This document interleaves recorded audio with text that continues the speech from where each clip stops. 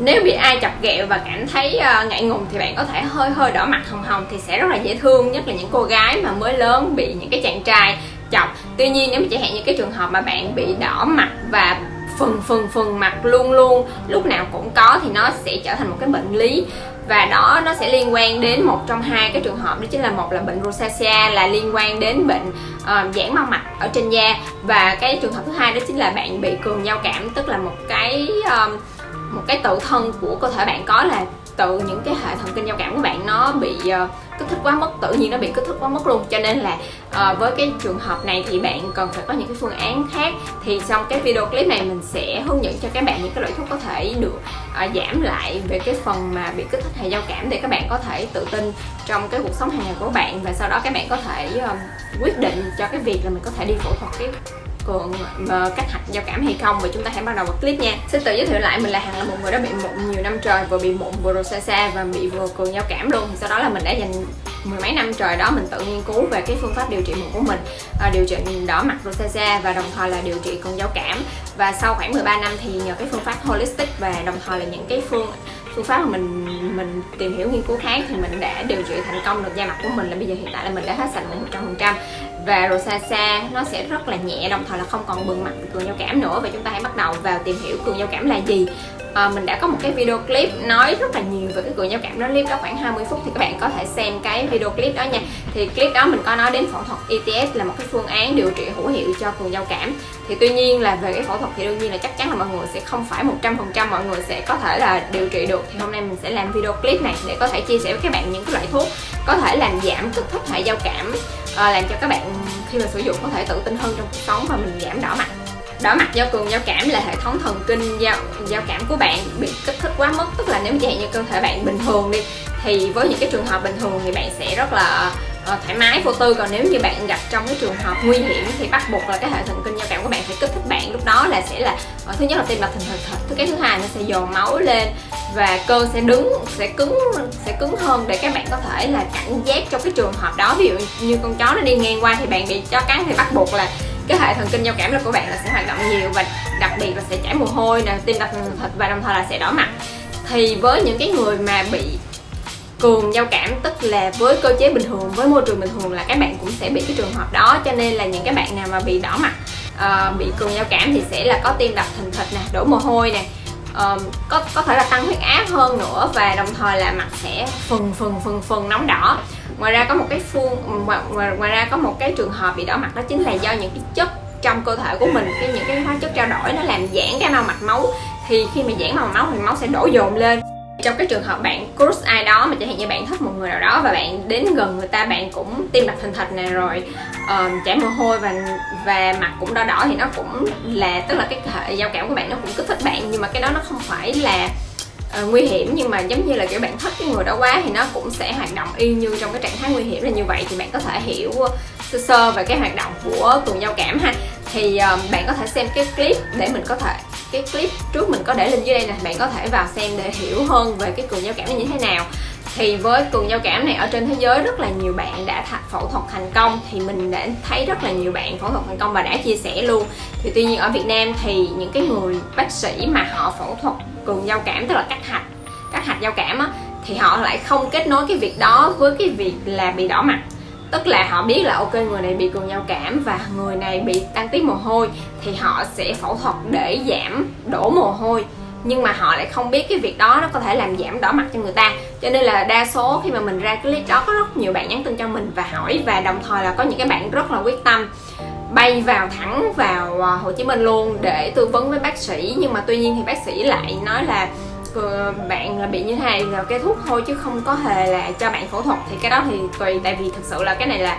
uh, kiến thức chính thống và được uh, rất là nhiều các bác sĩ chuyên khoa nước ngoài đã chia sẻ với rất là nhiều người đã phẫu thuật thành công. Cho nên là cái đó là việc của bạn. Um, bạn nếu mà bạn muốn quyết tâm thì bạn có thể năng nỉ bác sĩ hoặc là bạn có thể trao đổi cái việc gì đó thì cái đó là là mình mình coi như là cái trách nhiệm của mình là mình chỉ có nêu cái vấn đề đó là ok thì có những cái trường hợp đó thành công. Thì mình là một người đã liều phẫu thuật ETS à, trong cái thời gian đó thì tại vì thật sự là mình cũng có bị đổ mồ hôi thật. Thì khi là mình hỏi bệnh viện này bệnh viện kia biết bệnh viện nào phẫu thuật hạch T2 T3 thì mình quyết định mình vào làm luôn. Mình cũng không biết là có giảm đỏ hay không nhưng mà mình cứ nói là ok phẫu thuật để cho giảm đổ mồ hôi thôi. Thì may thay là nó cũng giảm đỏ cho mình rất là nhiều. Và trong những cái bạn mà nhắn tin cho mình thì có được uh, một bạn cũng liều giống như mình vậy đó. Tại vì mình cũng nói thật sự nhiều khi bác sĩ cũng không biết đâu. Thì bạn cũng liều và bạn cũng đến phẫu thuật cho dù là bạn không đổ mồ hôi luôn thì uh, rất là may là khi mà bạn phẫu thuật xong thì bây giờ là mặt của bạn đã giảm đỏ rất là nhiều không bị ờ, không bị đỏ mặt đỏ ngực đỏ đỏ ngực nữa tại vì bạn bị đỏ cũng khá là nặng đó cho nên bạn nhắn tin cảm ơn mình rất là nhiều luôn. Thì mình show ra cái case này để các bạn có thể biết được là ok cái phương pháp này là đúng và có người đã thực hiện thành công. Thì uh, về phẫu thuật chắc chắn là mọi người sẽ cũng có những người e ngại thì vì sợ.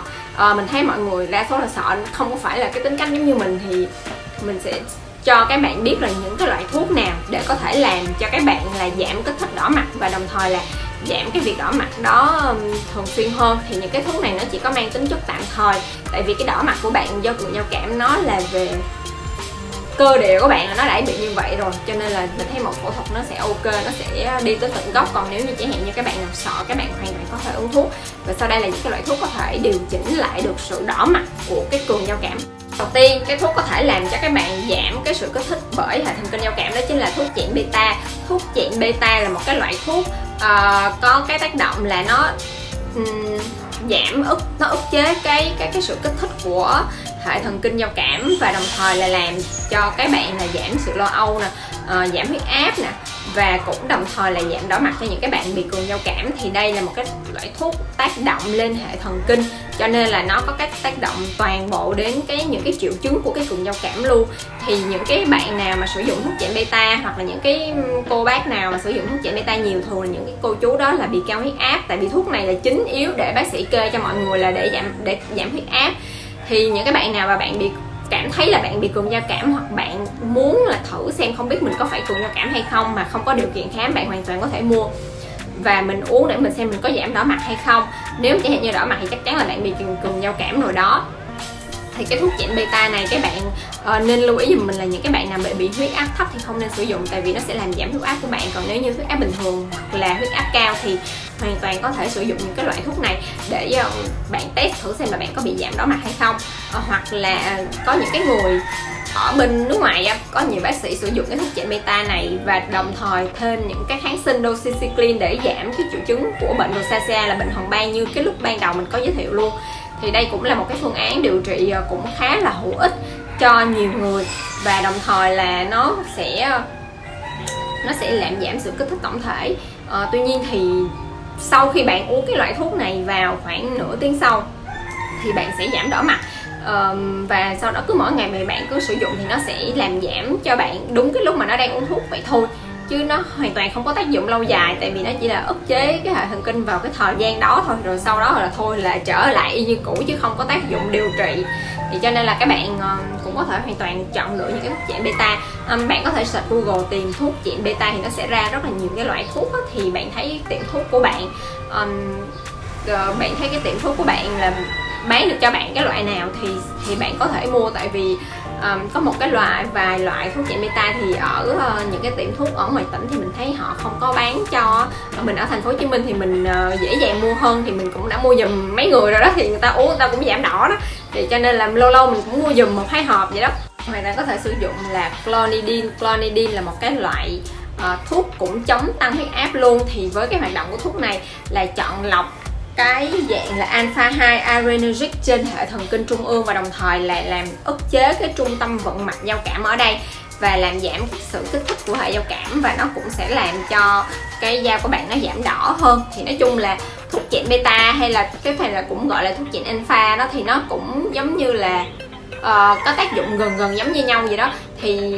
ở ngoài ở nước ngoài họ kết hợp cả hai loại này luôn để họ sử dụng cho cái việc mà giảm đỏ mặt thì mình thấy cũng ok. Nhưng mà tuy nhiên là không nên sử dụng cho những người bị huyết áp thấp nha. Tại vì huyết áp thấp là mình dùng mình dễ bị ờ, tụt huyết áp á, và cũng bị ảnh hưởng nhiều đến sức khỏe lắm. Cho nên là những cái người nào huyết áp bình thường hoặc là huyết áp cao mới nên sử dụng. Và một loại mình muốn nói đến cuối cùng đó chính là ờ, uh, tiêm botox. Botox rất là nổi tiếng trong cái việc làm giảm nhăn những cái vết những cái nếp nhăn động. Thì những cái nếp nhăn động được gây ra bởi uh, dây thần kinh nó tác động đến cái cơ mặt của các bạn thì nó sẽ làm cho các bạn nhăn. Nếu mà dây thần kinh không hoạt không không tác động đến cái cơ thì nó sẽ làm cho bạn không nhăn. Thì đồng thời là cái cơ chế về đỏ mặt nó cũng vậy. Ờ, đỏ mặt là cường giao cảm thì những cái hạt giao cảm nó sẽ tác nó sẽ đưa thông tin lên những cái dây, dây thần kinh và dây thần kinh nó sẽ truyền tức là nó sẽ báo lệnh cho những cái mạch máu của bạn là dồn máu lên. Thì khi mà bạn tiêm thì cái dây, cái dây thần kinh của bạn nó sẽ hạn chế được nó không có, nó sẽ hạn chế đưa cái đưa cái lệnh thông tin cho à, mạch máu để mạch máu, dồn máu lên mặt thì đồng thời nó sẽ làm giảm đỏ hơn. Thì mình cũng show ra những cái case mà có nhiều bạn tiêm botox thì làm giảm ờ, đỏ mặt cũng nhiều chứ không phải là hết hoàn toàn. Chắc cũng được khoảng 70 80 phần trăm thì botox thì cái chi phí nó hơi cao và nó chỉ duy trì được 3 đến 6 tháng thì các bạn cũng có thể à, tham khảo cái cái à, phương pháp này để có thể đồng thời là giảm nhăn, những cái nếp nhăn đậm cho da luôn. Thì cái đó hoàn toàn tùy thuộc vào các bạn thôi. Thì rất cảm ơn các bạn đã xem video clip ngày hôm nay. Thì hy vọng là cái clip này có thể giúp đỡ cho các bạn bị bệnh đỏ mặt để có thể à, tìm thêm những cái phương pháp hay là thuốc uống gì đó để giúp cho các bạn là tự tin hơn trong cuộc sống. Tại vì mình biết là cái bệnh này nó rất là tự ti, kể cả trẻ hay là lớn tuổi hay là nam hay nữ gì mình thấy ai cũng tự ti về cái vấn đề này hết. Thì hãy like và subscribe kênh youtube của mình để có thể theo dõi thêm nhiều cái video clip nói về mụn sẹo rosacea nha. Bye bye.